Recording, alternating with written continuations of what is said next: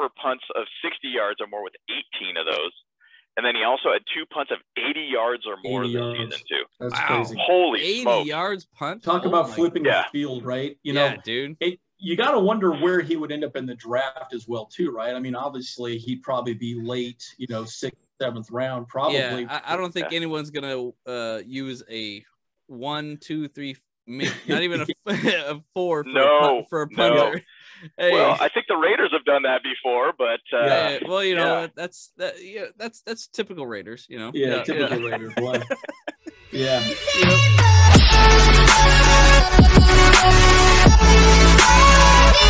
Uh, one, one person I was thinking about is um, Uchenna Nwosu. We haven't really talked about Yep. him a whole lot. Yes, yes. I mean, how 100%. much? How much is this guy going to get paid? I, I'll tell you right now.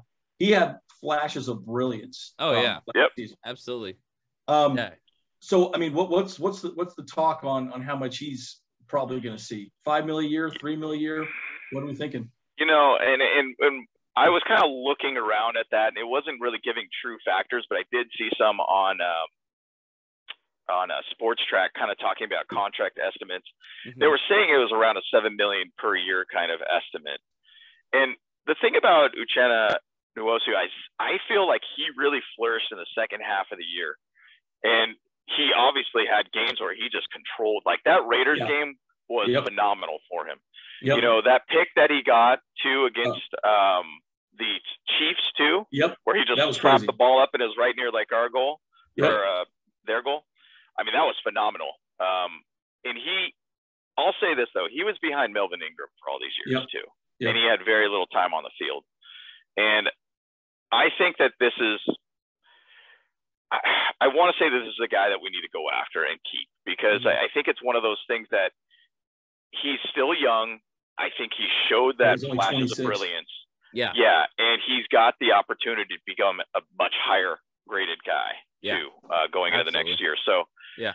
you know, I and I think that it's pretty fair to say, you know, with a higher salary cap, there's going to be a lot of people wanting to go after him. I mean, Mhm. obviously, we could even look at some sort of, you know, franchise tag even for Mike Williams or even to for Nwosu. Those are probably Mm-hmm. the two candidates I would look at probably for that kind of thing. Uh, really interesting. Um, but he's one of those guys that I think we need to go after and keep.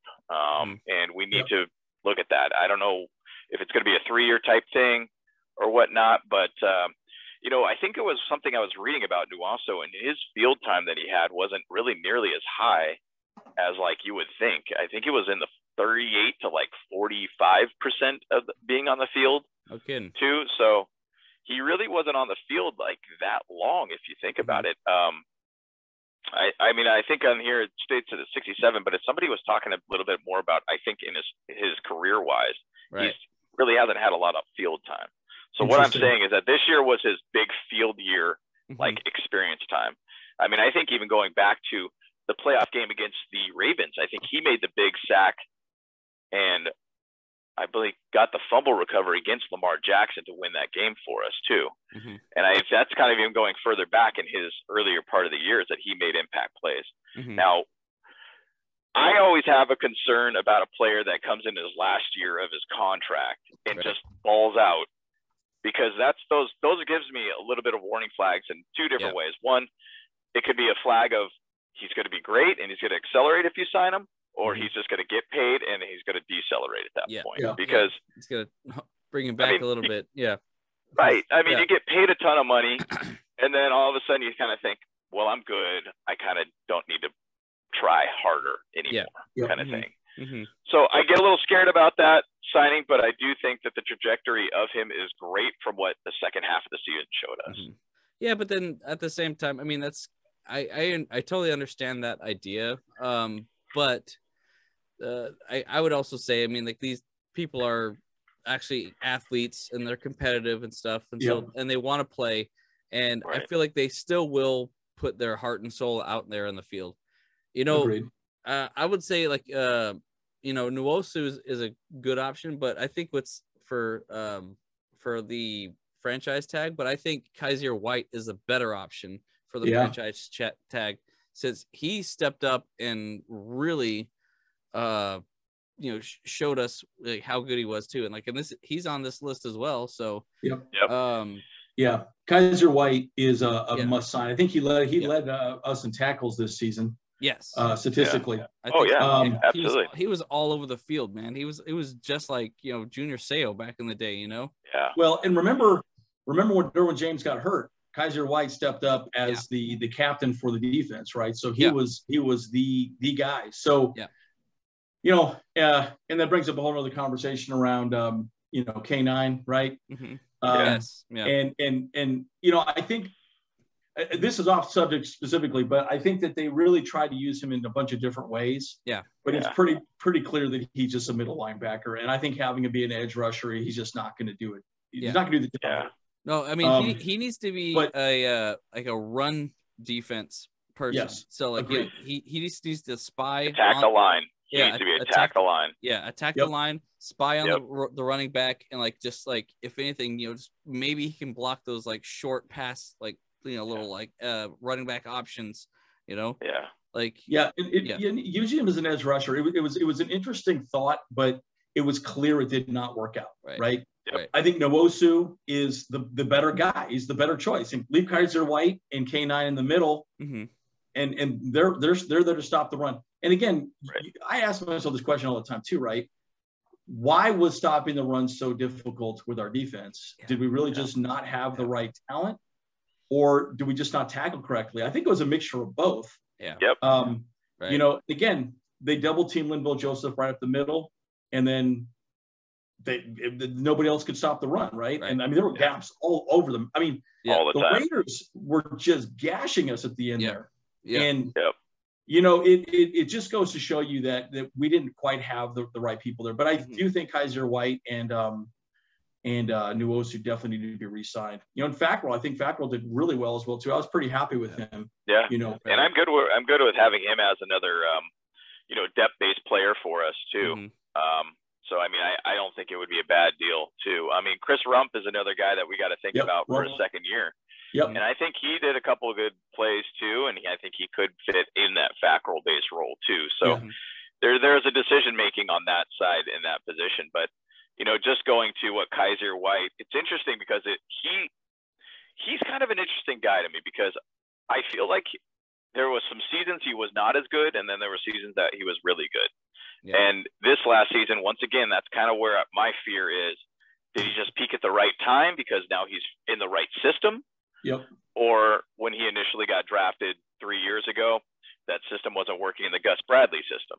Yeah. Yeah. And so if he flourishes the way he is and we pair him up with a better linebacker to be able to fit, because they always put two linebackers in the middle of the defense in Yeah. front of that line. mhm. If we get another run sniffing out linebacker there that could help him out, I mean, it, it would definitely be a very, very strong linebacking core for us. But Yeah. now they're saying with Kyzir White, he's probably going to be, they're in kind of a, I heard $12 million range total contract. Um, Okay. Now, 12, 12 million total contract, not meaning Mhm. as a yearly contract. I mean, we're not Yeah. at that level yet. yeah, but yeah, some people are saying that you know with the bump of the um, salary cap going up to 208 million now people will be looking at him because obviously you look at his stats and you think holy smokes this guy had a lot of Right. production right, Yeah, and- right. So they're saying on the high end they're saying that hey three or 15 million dollar contract is totally doable now mhm, if you look at like that franchise tag that franchise tag will be in the eight to nine million mhm. probably a little bit higher than that, possibly ten million dollar range. If they do that, I think it's just better just to be able to get, if that is going to be his market value, just sign him Yeah. at a 315 year. That's, that's perfect for us to work with. So Right. I would go with that. I would go with that for sure. So, I, so Um, we, we have a couple more on this list that we probably should talk about as well. I, I know Justin Jones would be one we want to discuss. So obviously with Justin Jones, I mean, he's another guy that we got to think about on the line. And I think that he, one thing I really liked and appreciated after the season is his passion in his voice and how Yeah. he, he was frustrated and he seemed like ticked off ready for the next season. Yep. And I could tell that he wants to be here and he wants Yeah. to be in Brandon Staley's defense. So I think we have to go with him and have to get him back. And I think he's a passionate guy. And to be honest, I think our run defense, which it was terrible all around, Yeah. but having him on the field, I think made a big difference. It, And So Yeah, pair him up with somebody else. Yeah. Yeah. And so Yeah. he had his injury issues and everything, but he worked through them, and I think he he's good. Right. Seeing around maybe about a five million dollar a year kind of range. I don't know what we're looking at that. on a term for that, but I mean, heck, if we get him for a three or four year kind of deal around that point, that would Mhm. be doable for yeah, us. I think we Um, can tel- totally do that. I mean, like we're paying Linval Joseph eight and a half million a year. Uh, Yep. and, and you know, and I think he's obviously, I, I as much as as good as he is, he's he's got to go. I mean, Yep. I, I think because he's he's getting up there in age, and Yep. um, and obviously he just was getting gobbled up and stuff like that, you know. But like, so we'll Yep. keep we can keep Justin Jones, and you know, pay him more. And then get somebody else like Linval Joseph, but who's also younger. I think is, Yep. is the is the bigger biggest thing. Younger and hopefully maybe stronger. I don't know. Of Exactly. course, of course. and, and Yeah. there's a lot of guys that we're keying in on in the draft that I think would be great choices for that. Yeah. And I think there's a pretty good defensive line draft choices that we can make. So Yeah. Yeah. yeah yeah i think i Um, think that's that's another thing that they said in that presser is that it's a pretty deep uh defensive line draft this year Yep. so yeah hundred percent, hundred percent. Yeah. and, and we need that depth, right? You know, and it's clear. I think part of the problem on the defensive side as well too is that that we weren't consistently playing with the the front and the back of the defense. It seemed like there was always injuries on both sides of the ball. Right. ball, right so they were never really out there. I mean, again, you look at the Rams. You know, man, they they they didn't seem like they had many injuries all season, right? And so they knew what they were doing out there the entire time. Yep. So I think the injuries do mount up, especially when you don't have the depth. And, and it was very clear that the Chargers did not have the right depth yeah um, Yep. on the defensive side. I think you know they can improve the quarterback play, cornerback play. They could definitely improve the line play. hmm Um, I think the linebackers were in question. Right, K9 was hurt most of the time. hmm You know, and and it's huge, right? And um, uh, you know, it's it's it's really an interesting thing to think about. You know, right right moving Yep. into this offseason. yeah Yeah, absolutely. And and and you know, I don't want to kind of lead it into this point, but this is kind of something that I know we could talk a little bit about draft and guys, players that we could kind of look at. And I, I put Ty Long kind of as a tier two kind of guy with the team. And and why I'm kind of saying that is kickers kickers are one of those guys that you kind of think about, but you don't really like try to invest too heavily on. But then Yeah. again, it can make a big difference in a game. And um, it can you know, there was a lot of times with Ty Long getting blocked kicks and Yep. kind of a long stride to be able to get a kickoff. Like yeah yep it, it just there's times that I kind of thought maybe we could make an adjustment on this. So, and I don't want to get too heavily into the draft, but I, I, I think with the amount of draft picks that we have, total 11, and I'm not trying to go too heavily into the draft right now, but Right. I think there's ways that we could look past uh, Ty Long, and and I think Yeah. he's a good kicker, but I think there was some issues in that side. So Yeah. I, I, don't know if I you guys taken if you've taken a look at this guy, and this is a guy that there's a lot of talk about him going into the draft as one of the top kickers is Matt Araiza from SDSU. Once again, Yeah. oddly that it's a, a kid from San Diego, hmm um, Yeah. and born in San Diego, San Diego kid and everything. This guy has a leg, Yeah. dude. This guy, he is unreal. So basically, he holds the NCAA record of punts of 50 yards or more oh with 39 of those. And then, mind you, Ty Long, I think, was in the 45 range on average kick. Yep. Um, the record for punts of 60 yards or more with 18 of those. And then he also had two punts of 80 yards or more 80 this yards. season, too. That's Wow. crazy. Holy 80 smokes. yards punt Talk Oh about flipping Yeah. the field, right? You yeah know, dude it, you got to wonder where he would end up in the draft as well, too, right? I mean, obviously he'd probably be late, you know, sixth, seventh round, probably. Yeah, I, I don't think Yeah. anyone's gonna uh, use a one, two, three, may- not even a, a four for, a, No, pun- for a no. Hey, Well, I think the Raiders have done that before, but uh, yeah, well, you know, yeah. that's that, yeah, that's that's typical Raiders, you know. yeah, typical Raiders. Boy. Yeah, Yep. But Uh, I, I did kind of hear a little bit about that. He's kind of more a third day kind of pick. So you could think Okay. in the fifth round. I mean, you got to think hard, hard long on that kind of choice. And I mean, Yeah. the thing is, though, we've always kind of had with Telesco, those mid rounds have always been key guys for us Yeah. for some reason. And Drue True. Tranquill being one of those that comes to mind first. Yeah. That really just end up being really, really solid players for us. yeah, And so a kicker is kind of a weird thing for draft purposes, but at the same side, our special team sucks. And I'm Yeah. sorry, we got rid of our coach too. You got to make a decision at that point. Yeah. And yeah. the cool thing about Matt Araiza too is that he also had field goal kicking ability too, and he kicked field goals for a while. He didn't do that well this year, He was mm-hmm. only in the 70 percentile range, which has generally been our average as a Chargers team for a long time. But yeah. if you did bring in and kept in Dustin Hopkins too, and had him Matt Araiza there too, you he could get tips and tricks a little bit from Dustin Hopkins. Yeah. Say Dustin Hopkins is on another one year contract. And maybe we could put Matt Araiza eventually as our punter and kicker too. Mm-hmm. So who knows? Who knows? I think that's a fantastic deal, and I, I think it's a great choice for them to go with if if they don't move on with Ty Long. I yep. it's kind of an odd choice, but flip the yeah. field. I mean, I mean, 86 yard potential on a kick. I mean that that is massive. That'd be amazing. massive to think about. But that would be one of the coolest things to see. But you know, we wanted to just key in in in this whole show. We wanted to just key in on specific guys. There's a mm-hmm. lot of depth choices that we got to make, and we got plenty of money to make it happen with yep. a lot of these guys. I just wanted to make sure we kind of key in on those right guys. You know, the Mike Williams, Chris Harris Jr. I don't I don't think he's that guy. He's a 33 year old guy now. Didn't really do yep. well. Linval Joseph yep. Going to be kind of an expensive guy, 34 right now. Right. But there's those guys, Mike Williams, that we got to think hard about. Jared Cook, probably not one of those guys, in my opinion. Yeah. 35 year old. Yeah. Not, not my opinion. Oday Aboushi, I think so. Fackrell, Nwosu, Hopkins, Daniels, Roberts. There's a lot of guys out there. Justin Jones, mm-hmm. Kyzir White that we need to think about. But I think that we do have probably a good five to six guys that we need to think long and hard on For and sure. where we need to go with. So yep. I'm excited guys. to see where they go. Yep.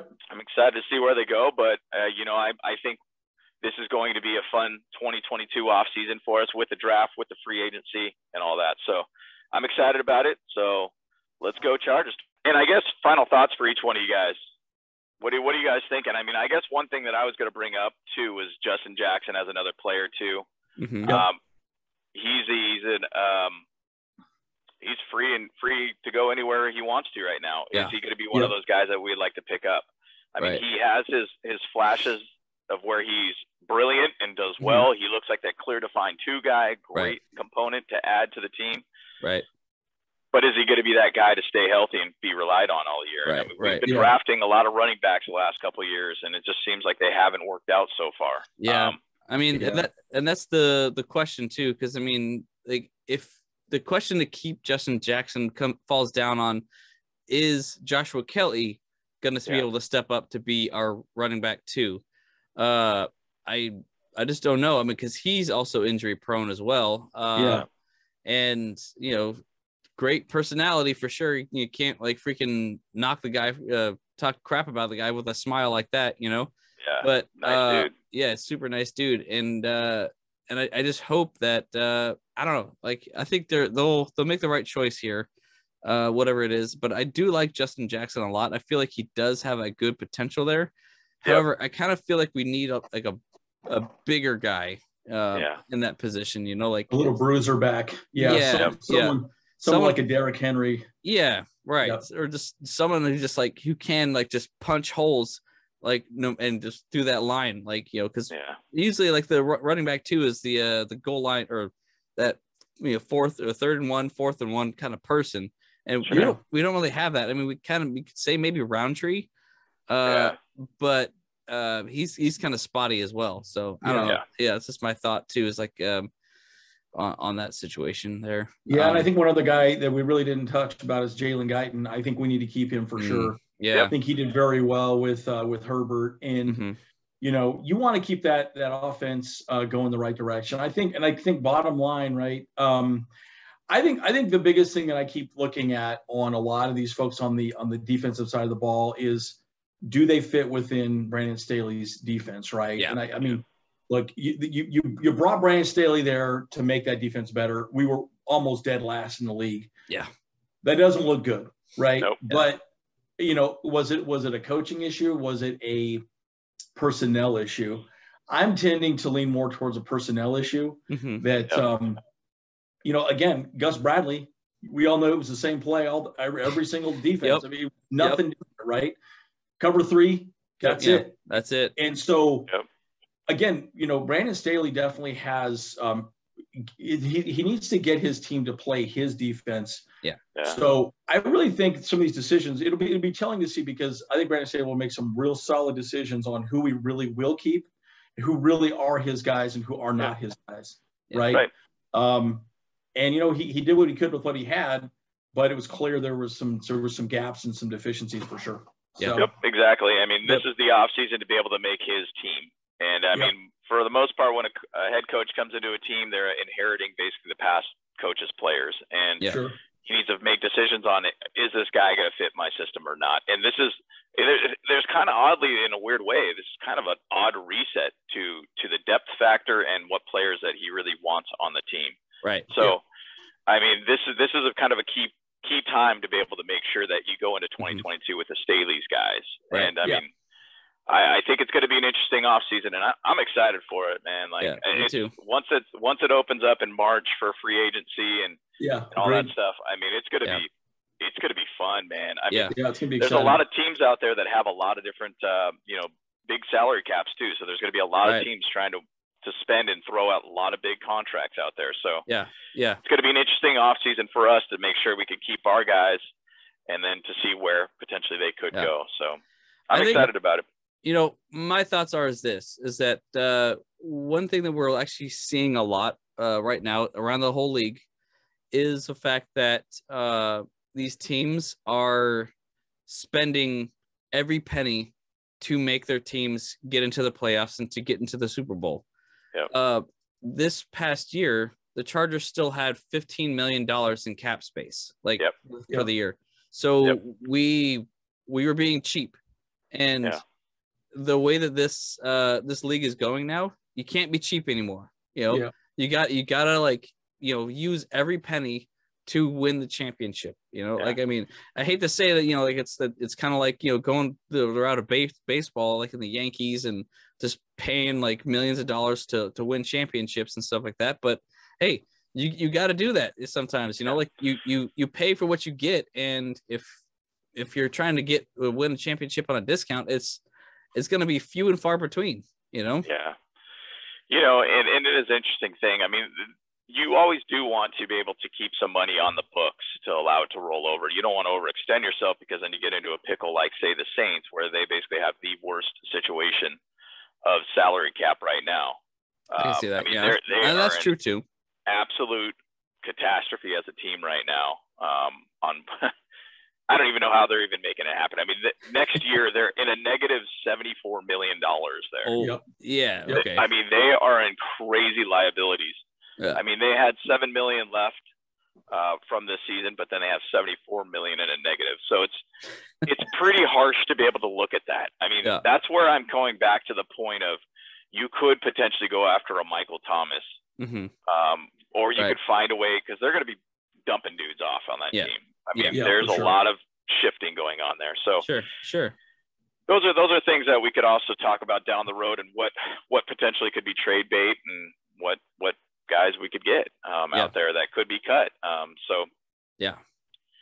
either way, I, I'm excited for what's going to happen ahead of us, and I think this is going to be a fun off season for us to be able to look at and Mhm. really build that championship based team now. Yeah. So Yeah. Of um, course. So I'm I'm looking forward to it. So uh, thanks Yeah. for watching, guys. Subscribe right. Yeah. share. You know, let us know what uh, you guys would like to talk about if you want to leave any comments or anything too. We'd love to be able to hear some from our fans out there and, and viewers. So, Yeah. Exactly. so Absolutely. Bolt Bros, let's go. Oh, bros. Bros! Let's We do out. it!